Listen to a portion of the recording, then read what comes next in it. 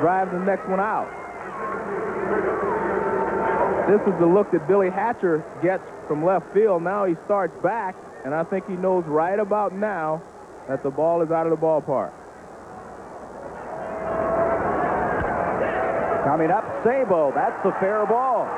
Sabo will go for two in the left field area. Hatcher comes up with it, and Sabo with a stand-up double.